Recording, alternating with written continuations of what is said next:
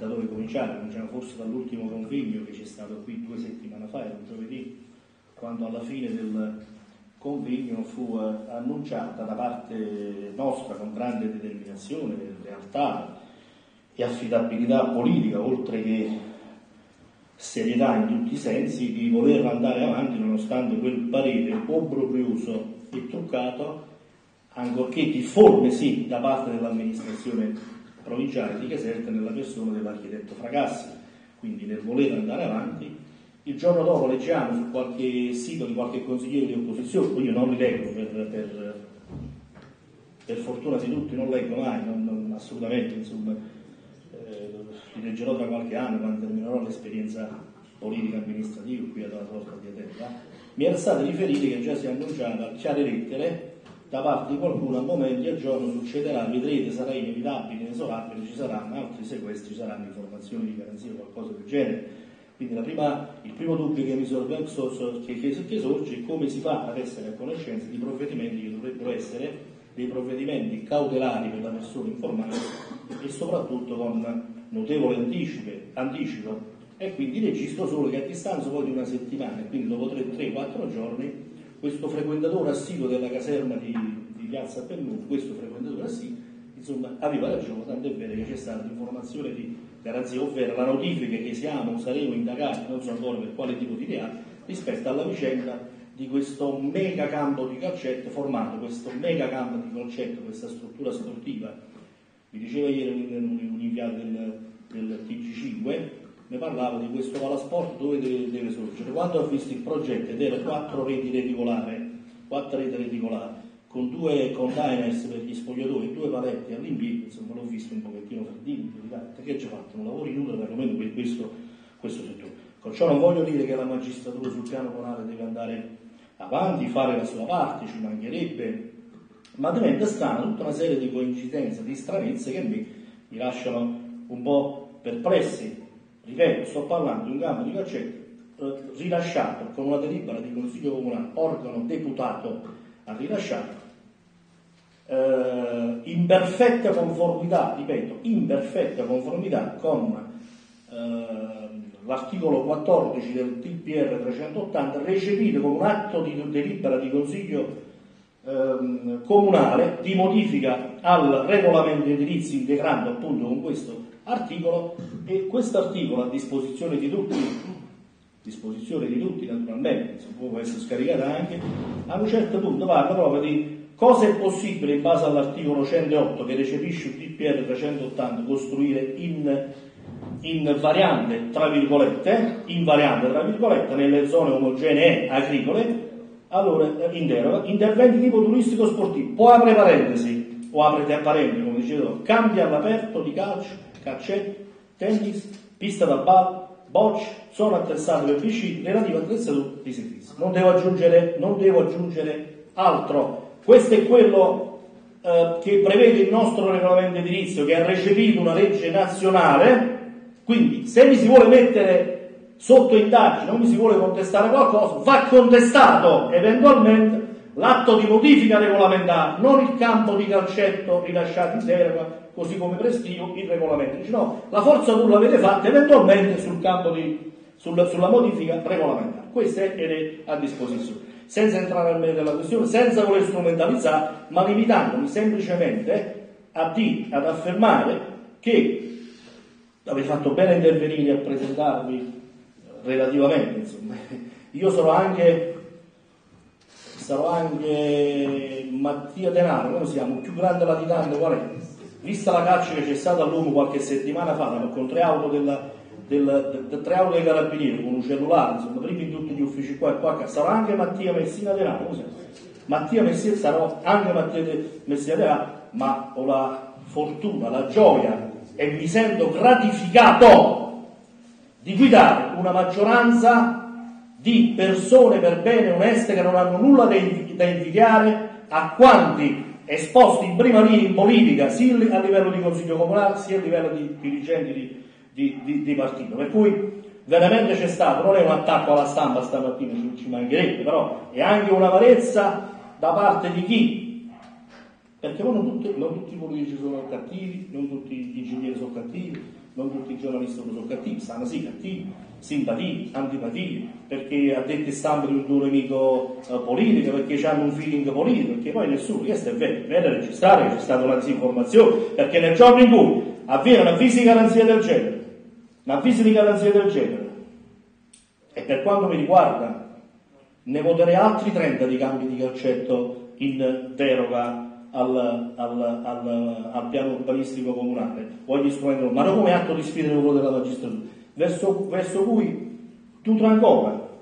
tu ancora la fiducia, e non è un fatto strumentale, che alla fine accerterà e chiarific- si chiarirà perché è l'avvio di un procedimento, non è la conclusione di un procedimento, è qui che non si, è l'avvio, stiamo indagando perché riteniamo che accettare, non c'è problema, ma ci de- però ci venisse data la possibilità di andare a chiarire in termini rapidi, non aspettare due anni e stare appese e fare in modo che una vicenda del genere viene assemblata in una vicenda più, più generale, più,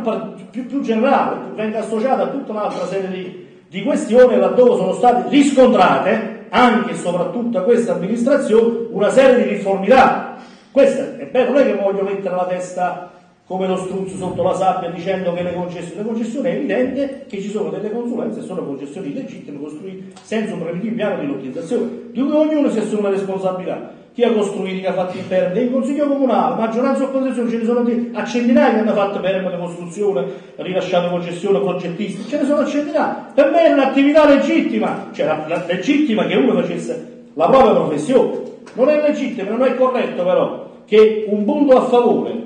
un punto a favore, come la vicenda invece mi aggancia a quello di, eh, di ieri, un punto a favore diventa un atto negativo. Si dedica due pagine, tre pagine come l'altra volta, quando invece nello stesso momento la sentenza di Cassazione, con la sentenza di Cassazione, viene, viene condannata Sedole alla, alla, per, per, quella strage ed altre cose, si dedica mezza pagina a questa vicenda di Orto di Adella, chissà che cosa, insomma uh, due pagine intere rimescolando e dicendo le stesse cose, omettendo di fare un'informazione corretta. Perché sulla questione di ieri, sulla questione di ieri, la concessione venne rilasciata nel maggio del 2006, non per dare responsabilità ad altri. Io non ero nemmeno consigliere comunale che decaduto il 21 ottobre del 2005 e sono rientrati nel giugno del 2006. Io non c'ero nemmeno, però è sempre responsabilità mia, una responsabilità politica e morale, viene rilasciata dopo due anni, quando sono iniziati i lavori, in corso, quindi si può ancora prevenire ed evitare che una truffa a danno dei cittadini venga consumata, viene fatto un sopralluogo dal tanto decantato grande ingegnere della commissione Palermini, quel grande ingegnere, persona per bene su cui non nulla da dire, fa il sopralluogo agli atti, e si limita semplicemente su questo cantiere di ieri a fare un'ordinanza di sospensione, non l'avvio del procedimento di revoca con una costruzione in corso, il che se avesse fatto sequestro in quel momento, revoca, ordinanze e quant'altro, avrebbe evitato.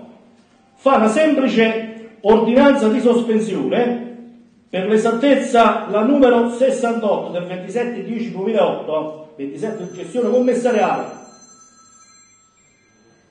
a cui viene fatta la risposta di controdeduzione dai, dai, dagli intestatari della concessione da parte dell'avvocato Abbavuto il 17 di febbraio, il 5 di gennaio, anzi, 17 di, di, di, febbraio, 5 gennaio. 17 di febbraio i proprietari dicono non ci interessa niente, noi riprendiamo i lavori, arrivederci e grazie, cara responsabile Palermo e la concessione a fianchi la stessa cosa, quello è, è l'unico blocco, parte è stata sequestrata, parte non è stata sequestrata, sono due concessioni vicinate, la stessa blocco, una a fianco all'altra, se qualcuno vuole eccepire. Nel momento delle 68 anziché 35, è uguale, lo stesso, stessa stecca, stessa proprietà sicuramente, stessa, stesso tipo di intervento, stessa destinazione e stessa destinazione del suolo. È chiaro questo viene sospeso, riprendono i lavori, ci siamo insediati noi. Quello che io credevo che fosse un punto a favore, cioè quello lì di facendo sul lavoro di monitoraggio delle concessioni da parte del tecnico sceriffo Valentino, l'ho definito così, continuando a controllare, interviene, fa la procedura di revoca che viene impugnata, fa l'ordinanza di appartimento a giugno, impugnata, fa l'ordinanza di acquisizione a settembre, agli atti impugnati,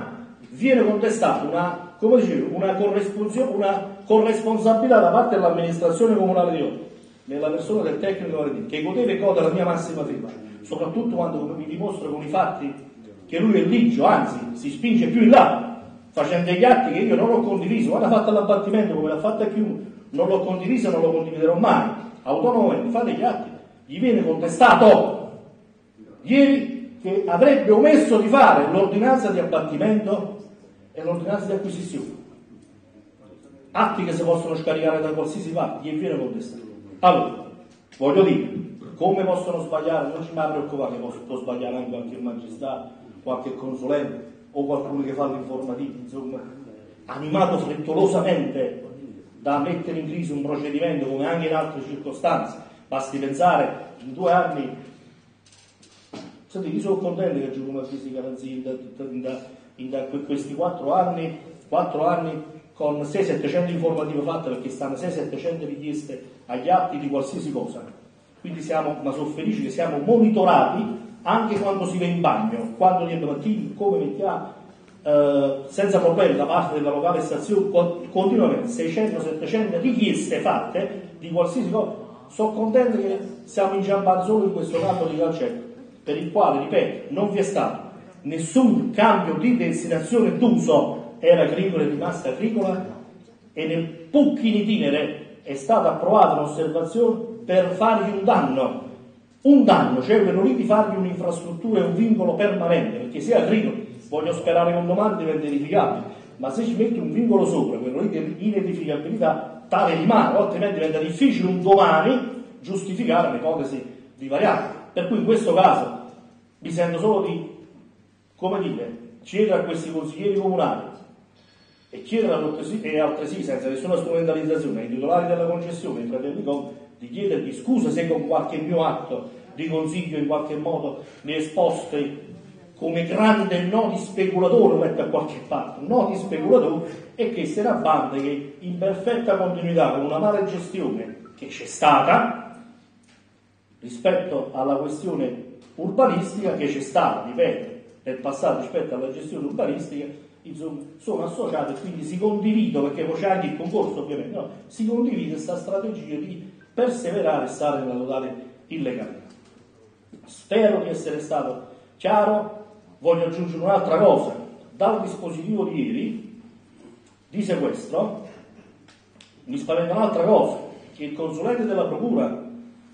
dice una cosa rispetto all'applicazione dell'articolo 38 e come intervenire e, e, e risolvere queste questioni. Il TAR dice un'altra cosa perché il TAR ha sospeso i due provvedimenti di abbattimento e di acquisizione. Il TAR ha sospeso, e attenzione, quei provvedimenti che Valentina ha fatto in illo tempore nel mese di giugno e settembre hanno ottenuto la sospensione da parte del TAR, quindi l'autorità amministrativa dice una cosa, il consulente della procura dice una cosa Uh, l'ingegnere come si chiama? Fracassi, mio amico Fracassi dice tutta un'altra cosa. Regione, peggio che andare di notte, non è più competenza nostra. Il comune, ripete, una soluzione nel piano l'ha dato, quello lì dell'articolo 38, uh, eh, insieme ai piani di urbanistica attuativa, che prevede una soluzione dolorosa, ma non è un condono, né un condono mascherato tra l'altro. Allora si è creato una sorta di cortocircuito allora, mi domandavano i cittadini prima, dice ma come dobbiamo fare? E a questo punto se uno dice una cosa, un'altra cosa, ho fatto una lettera abbastanza pesante, sia al Ministero che al prefetto stamattina, cara prefetto. A questo punto si è creato un cortocircuito. È vero che il parere della provincia è un parere consultivo non obbligatorio, o meglio, è obbligatorio per la completezza degli atti, come è quello di tanti altri enti che ancora devono eh, far pervenire il parere, autorità di bacino, ARPAC e qualcun altro. No, là se parla di piano favorevoli di parte, genere civile e qualcun altro. Quindi il piano oggi può essere discusso e approvato rielaborato in studio. Ma è pur vero che un parere della provincia è un parere autorevole. Tra i pareri è quello più autorevole. Allora, se eh, il tecnico della provincia, che poi dice che vuoi da me, giù, riceve telefonate, sempre dalla stessa persona, da Orto di Adella eh, per fare presto, eccetera, sempre dalla stessa persona, aggiunto queste, queste telefonate perché tutto sta chiarimento. Il motivo o i motivi, quando prima qualcuno mi, mi, mi chiamerà, se non è una minaccia, qualcuno mi chiamerà e sarò ben lieto, secondo il mio modesto parere, anche con qualche documento di testimonianza. Eh, però non possiamo atto del, del, della, della, della, provincia. E credo che la vicenda non possa, non tenere atto, cioè non, non tenere atto della, dell'autorevolezza, ma non che dice sciocchezze, insomma, uno accetta o non accetta, insomma, così come cuore leggero non si accetterà e si comprenderà allo stesso modo. Però è evidente che c'è una situazione, un contesto, un contesto che è un po' preoccupante, insomma, è normale. Io sono il primo ad essere il più, il più, il più esperto, oppure il vero, il vero, unico grande delinquente di questa amministrazione, di questa maggioranza, ad essere preoccupati. Queste, figuriamoci. Diciamo intanto dalla presenza che il primo effetto di tutta questa vicenda ha fatto in modo che la maggioranza diventa sempre forte e coesa, ancora di più perché si comincia pure a capire che poi, in un momento, quando è toccato direttamente, e si rende conto, eh, dice ma così è che se ti puoi trovare in una situazione, non è che c'è la pistola fumando, il morto a terra o chissà che cosa, la confessione da parte di, di qualcuno, assolutamente, insomma. quindi è del tutto evidente che uno può incappare durante l'attività amministrativa anche in qualche fatto del genere, però è pur vero che poi facendo i dovuti accertamenti e soprattutto testimoniando, con atti concreti e, e, e riscontri è normale che no, dopo la, la, questione si, si, si chiarisce, questo, questo è, è, abbastanza eh, tranquillizzante. Eh, chiarisco un'ultima, un'ultima, cosa prima di, di concludere, posto a disposizione eventualmente di qualche domanda da parte del, del, del, dei giornalisti presenti, degli inviati presenti, delle presenze che ringrazio e saluto, ci mancherebbe. Eh, chiarisco che eh, l'esposto alle note pubbliche che ho fatto era più determinato non un fatto in sé, ripeto, anche se difendo, difendo eh, sia l'atto liberativo di consiglio, sia la professionalità e la rigidità morale dell'ingegnere Valentini, sia ovviamente insomma, tutti i consiglieri comunali che insieme me hanno condiviso, anzi, vi dico, vi dico una cosa, se andate a vedere l'atto liberativo nella parte del fronte spizio sono assente, mi allontanai, poi non lo so, sono stati inviati. Io per fortuna che mi hanno inserito poi nella parte finale dei voti, altrimenti chiunque poteva pensare che allora era un, un imbroglio, sindaco si allontana, se vedete la delibera, io nel fronte spizio sono assente, poi sono inserito non so come nel, nell'atto liberativo, poi arriva presente il sindaco al della votazione. Io mi ricordo che era proprio a sé, però era presente, cioè voglio dire per testimoniare che la bontà e la realtà sotto, tutti gli aspetti, dall'atto deliberativo, sono stato fiero, ero preoccupato, anzi non intervenisse anche a me questo avviso che c'era un'indagine in corso, altrimenti chiunque era portato a pensare, insomma, ci ha fatto un danno, si è allontanato, non è così pazzesco, perché c'era qualcosa che probabilmente non, non andava. Nella lettera pubblica e per il trattamento che mi è stato usato, insomma, particolare, una caccia a lungo, mentre io mi trovavo in caserma alle 10.07 con sette testimoni che stanno lì, consigliere, un vigile del bar, 7 minuti in quel momento ci ho saputo che c'erano da di telefonati che c'erano tre macchine con 10 persone quindi uno spreco anche di però ripeto anche che quello è un atto di cortesia quello di entrare in caserma eh, come è stato notificato è, un atto di cortesia. Se invece qualcuno dice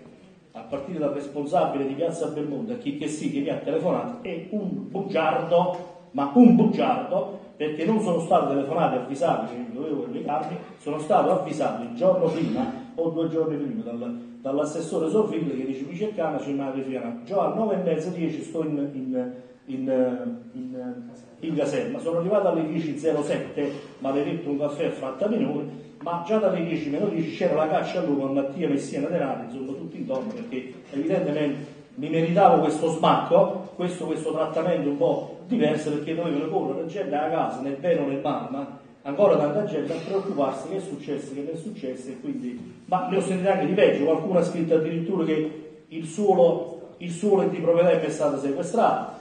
che c'è stata una necropoli sotto il terreno che è stato trovato, che i fratelli Conti sono miei prestanome, insomma ne ho sentito di tutti i colori. Ma ce ne vuole per abbattere, è uscito troppo coppa da qualche giorno, eh? ce ne vuole per abbattere il sottoscritto soprattutto quando è trova riscontro ancora di fiducia nella cittadinanza e, e, e nella maggioranza. Eh, cara dottoressa, ogni tanto si parla di allarme, gente esasperata, cose. Io cammino in mezzo alla strada, discuto con la gente, mi fermo a diverse parti, di incontro, non gli faccio promesso, faccio chiacchiere a vuoto, gli dico come stanno le cose, quando sono, saranno gli impegni miei. E nessuno mi aggredisce, mi aggredisce più uno posto di lavoro, le esigenze purtroppo di altre cose, ma continuo a riscontrare una fiducia, continuo a riscontrare una fiducia e come recitava un manifesto di, di maggioranza che ho sposato in pieno l'ultima parte, non chiederemo la testa davanti a chi che sia, andiamo avanti nella nostra strada, ma chiederemo solo davanti al popolo sovrano al momento delle, delle elezioni. Aggiungo un'ultima cosa, non andavo e non vado alla ricerca di confessione, poveretto, poverino, che è successo, così, qualche altra cosa me ne ha fatta legge, perché preferisco, preferisco di stare scritto 1500 volte per questi reati nel registro degli indagati che stare in capo in testa sempre a Santa Maria ma nel certificato dei fallimentari o delle, delle professionalità fallite.